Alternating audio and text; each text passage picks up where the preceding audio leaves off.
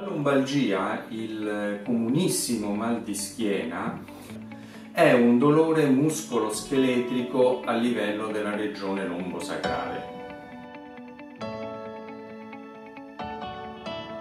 La diagnosi per lombalgia è una diagnosi prettamente clinica, quindi si effettua tramite un esame obiettivo del paziente e un esame posturale. Oggi in questo siamo molto aiutati perché esistono delle apparecchiature, degli scanner che ci consentono un'analisi perfetta della postura del soggetto e quindi un'analisi perfetta delle eventuali alterazioni posturali del paziente.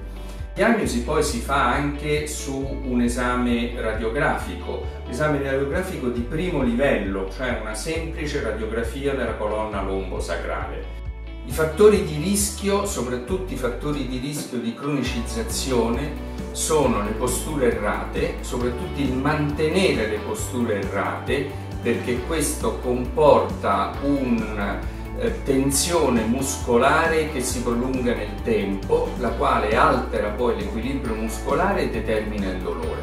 un stato fisico scadente perché mantenere una forma fisica buona e quindi un buon tono muscolare salvaguarda la nostra colonna vertebrale, lo stress perché va ad agire molte volte su posture già alterate, fattori di rischio sono il fumo,